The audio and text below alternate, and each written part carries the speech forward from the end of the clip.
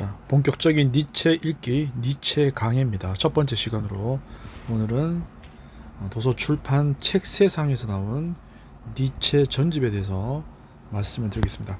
니체 전집 15권입니다. 바그너의 경우 우상의 황혼, 안티크리스트, 이 사람을 보라, 디오니소스 송가, 니체 대 바그너, 어, 백승영 씨가 옮겼고요. 어, 책 세상 도서 출판입니다. 아 그런데 이 니체라는 그 철학자는 요즘 젊은 이들 사이에서 많이 이렇게 어, 이야기거리가 되고 있고 성공의 어떤 그런 방식으로서 이 사람을 인용하는 경우가 많은데 어, 저 역시 한 20년 전부터 어, 영업이나 회사 생활 할 때 니체가 어, 제가 세일즈를 할 때 굉장히 도움을 준 그러한 예, 저한테는 그때는 우상이었어요. 예. 어, 이 철학자의 어떤 마인드 자체가 행동하는 부분에서 현실에서 굉장히 좋았고요. 자, 이 바그너의 경우 우상의 황혼 안티크리스트 이 제목만 봐도 이 사람이 어떤 그 고전 문헌 학을 전공한 이 20대 초반의 교수였지 않습니까? 어, 이 정말 독일어로 한다면 더 뛰어난 그 표현이 어, 될 수 있는데 이, 어, 이 어휘만 봐도 이 사람이 대단한 예, 철학자라는 걸 우리가 알 수가 있습니다. 예, 우상의 황혼은 박은호의 신들의 황혼과 예, 같은 말인 듯 하지만 네, 조금 다른 뉘앙스가 있습니다. 그리고 안티크리스트 이 얼마나 용감한 제목입니까? 이 사람을 보라 얼마나 당당합니까 그죠 네. 키에르 케고로까지 다 영향을 받았고요 현대 모든 미술과 예술에 있어서 전신 분석학까지 니체 영향을 받지 않은 예술가와 천재들은 없습니다 자, 어, 프리드리히 니체 1844년생이고요. 라이프치히 대학 신학과 고전문학을 전공했고요. 25세 젊은 나이에 바젤 대학의 고전문헌학 교수로 임명되었습니다. 지금 읽는 부분들은 이제부터 책 세상에 대한 책에 있는 글귀들을 어, 제가 읽어드리겠습니다. 자, 처음에 비극의 탄생 1872년에 나왔고요. 그 유명한 짜라투스트라는 이렇게 말했다 1883년에서 85년까지 그리고 그 다음에 선악의 저편 1886년 도덕의 계보 근데 이 제목 한번 보십시오 제목 선악의 저편, 도덕의 계보. 이러한 그 단어와 문장과 어휘들은요, 어, 굉장합니다. 그리고, 어, 이 사람을 보라. 이렇게 최후의 작품까지 이렇게 1889년도까지 이렇게 했고, 88년, 1888년부터 이제 정신 이상 증세를 보였고요. 어, 1900년 의미심장하죠. 바이마르에서 생을 마감했습니다. 자, 그의 유고집들이 굉장히 이제 중요한 의미들이 있는데, 자, 1888년도에서 1889년도에 바그너의 경우 우상의 황혼 안티크리스트 이 사람을 보라 니오니소스송과 니체 대 바그너 자 이렇게 해서 이제부터 본격적으로 니체에 대한 이야기를 시작할 것입니다 자 차례 보시면은 이제 우상의 황혼 어 그리고 박은호의 경우 뭐 이렇게 쭉 이렇게 서문들이 나오는데 이 차례만 봐도 이 어떤 내용인지 대충 감이 잡히실 겁니다. 어느 정도 니체를 좋아하거나 철학에 대한 관심이 있는 분. 하지만 처음 접하는 사람한테는 물론 어렵죠. 어려운데 내가 경험한 세계에서 적용하기가 굉장히 쉽습니다. 니체는 어려운 듯 하지만 내가 어떤 그 긍정적이고 강력한 성공에 대한 마인드를 가지고 있는 사람들한테는 완전히 내가 앞으로 해야 될 모든 내용 같은 느낌으로 다 다가오는 것입니다. 그래서 니체를 좋아하는 사람은 굉장히 적극적이고 아니면은 반대로 그렇지 못하기 때문에 동경할 수도 있는데 지금 바로 행동하고 지금 이 삶을 사랑하는 것입니다. 니체는 후회하지 않는 삶. 저 세상 이야기 이제 그만하라는 거죠. 이데아 우리가 경험하지 않은 그 저세상 사후의 세계 그 얘기 이제 그만하라는 거예요. 지금 이렇게 시뻘건 대낮에 우리가 감각으로 느낄 수 있는 이 현실을 왜 부정하고 알 수도 없는 옳지 않을 줄 아무도 모르는 그거를 이제 종교에서는 있다고 얘기를 하지만 그 누구도 장담할 수 없는 세계입니다. 그 불확실한 세계를 왜 그걸 위해서 이 현실을 희생하느냐는 것이죠. 네, 박은혜의 경우부터 몇 악사의 문제. 자, 박은혜의 경우부터 시작하겠습니다. 서문임죠. 나는 조금 홀가분해졌다. 이 글에서 내가 박은혜를 믿기로 하여 비지에게 찬사를 보낸 것은 순전히 악의에서만 아니다. 나는 많은 해악들 중에 해악할 수, 해악 일 수는 없는 사항 하나를 제시한다. 박은혜에게서 등을 돌린 것은 내게는 하나의 운명이었으며 이후에 무엇인가를 다시 기꺼워하게 된 것은 하나의 승리였다. 어느 누구도 나보다 더 위험하게 박은어적인 짓거리와 하나가 되어 있지는 않았으리라. 그렇죠. 이 내용은 뭐냐면은 니체는 초기에는 바그너와 우호적이었고 예술에 대한 철학에 대한 쇼펜하우어에 대한 공통 분모의 공감을 가지고 있는 나이 차이는 나지만 아버지 같고 더할 나위 없는 친구였어요. 하지만 예 후기에 가서 바그너의 그런 뭐 니벨룽의 반지나 그의 오페라 작품 파르시팔까지 그 바이로이트 극장까지 이렇게 어, 바그는 오히려 어떻게 보면 속된 말로 잘 나갔어요.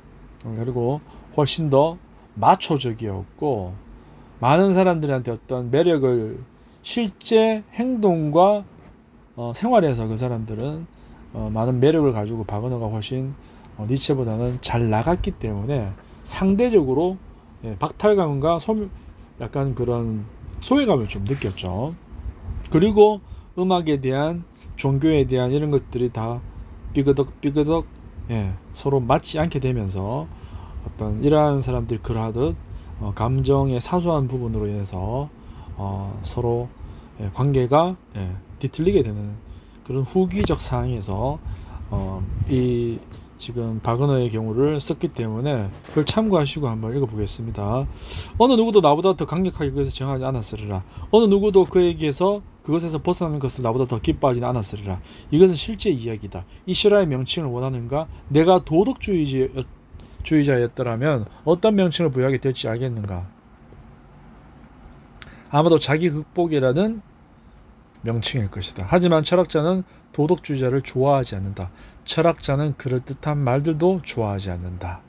아, 어, 니체의 어떤 강력한 의지와 현실에서의 어떤 느낌들을 엿볼 수 있고 어, 자기가 옳다는 거에 있어서 바그노와 예, 협상 같은 거 안 합니다.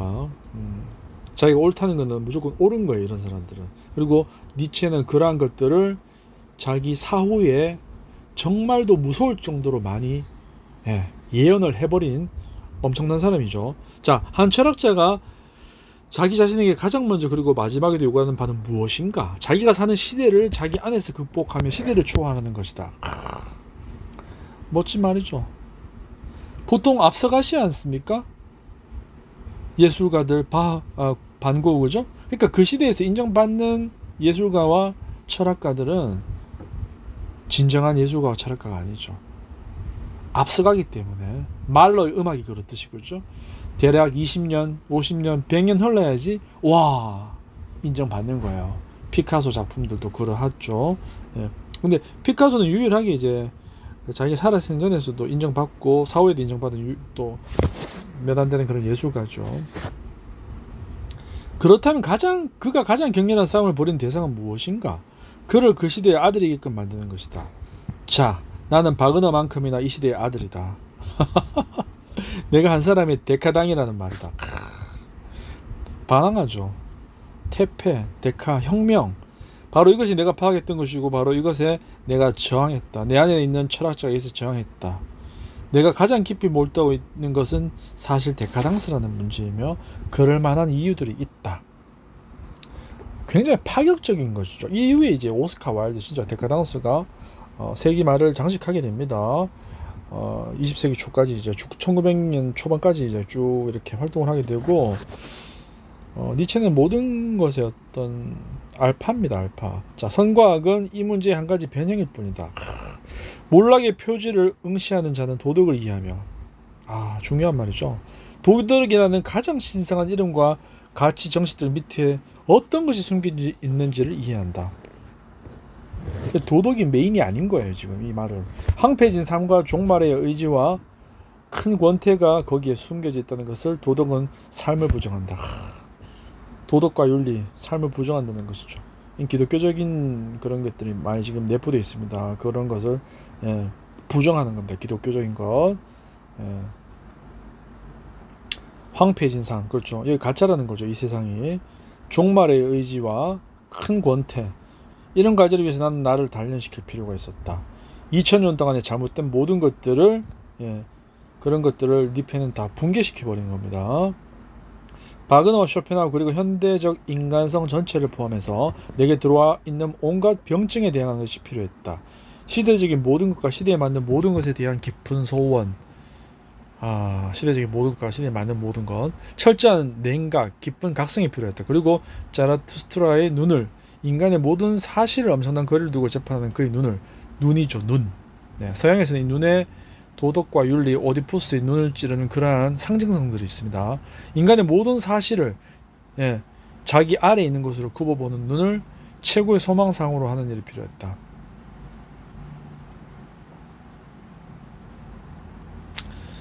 목표를 위해 과연 어떤 희생이 필요, 불필요하다고 할 것인가? 어떤 자기 극복이, 어떤 자기 부정이. 나의 가장 큰 취향은 병의 치유였다. 바그는 내가 가지던 병들 중 하나에 불과할 뿐이었다. 내가 바그너라는 병에 감사하고 싶지 않다는 것은 아니다. 이 글에서 바그너가 해롭다고 주장하면서도 나는 그가 누구에게 필요 불가결한지에 대해서도 주장하고자 한다. 그가 철학자에게 필요 불가결하다는 것을. 그 밖의 사람들은 바그너 없이도 잘 지낼 수 있을지 모른다. 하지만 철학자는 자기 마음대로 바그너 없이 지낼 수는 없다. 철학자는 자기가 살아가는 시대를 마음에 걸려하지 않으며 안 되며 그러기 위해 그는 그 시대를 가장 잘 알고 있어야 한다. 그런데 그가 현대 영혼의 미궁의 내막에 대해 바그너보다 더 정통한 인도자를 바그너보다 더 유창한 영혼의 고지를 어디서 발견하겠는가?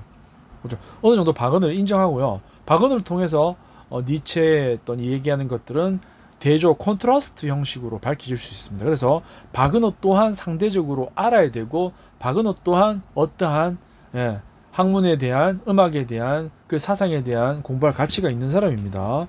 자, 현대성은 바그너를 통해서 자신 안에 있는 가장 내밀한 말을 하고 있는 것이다. 바그너를 통해서 현대성은 자신의 선한 면도 숨기지 않고 악한 면도 숨기지 않는다. 아, 이건 바로 데미안의 아, 헤르만 헤스 데미안의 어떤 그 씨앗 같네. 이 글귀는 현대성은 자신을 부끄러워하는 것을 잊어버렸다. 아. 그리고 역으로 바그너에게 선과학의 결과가 어떠할지가 명백히 알려지면 현대의 가치에 대한 계산이 거의 끝나버린 셈이 된다. 오늘 한 음악가가 나는 바그너를 중요하지만 여타의 음악은 더 이상 참아낼 수 없다고 말한다면 나는 이 말을 완전히 이해한다. 그러나 나는 다음처럼 말하는 어떤 철학자도 이해할 수 있을 것이다. 바그너는 현대성을 요약하고 있다. 별다른 도리가 없다. 일단은 바, 바그너주의자가 되어야 한다. 네. 자, 아직은 잘 모르시겠죠. 자, 이 서문까지 읽고 예, 다음은 바그너의 경우 1888년 그 유명한 5월 토리노에서의 편지를 읽어드리겠습니다. 자, 감사합니다.